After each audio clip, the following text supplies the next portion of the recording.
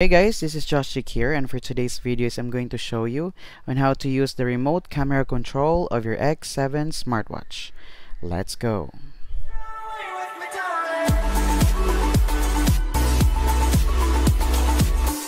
Hey guys, this is Josh here and welcome back to our channel and for today's videos I'm going to show you on how to use the remote camera control of your X7 smartwatch. Okay, so all we just have to do guys is we're going to go to our FitPro application. Just click that one. And from there, let's click on set.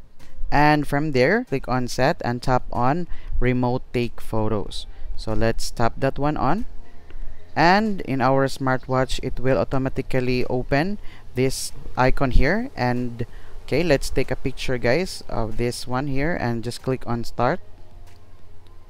Click start and three two one and boom. Okay so it already captured our yes picture. Okay it's very easy guys and it's very useful especially when you're traveling alone. You can just use your tripod and have your uh, smartwatch as a remote control okay once again guys if you have any questions just comment down below. And if you like this video kindly click the thumbs up and also consider subscribing. Once again this is Josh and I'll see you soon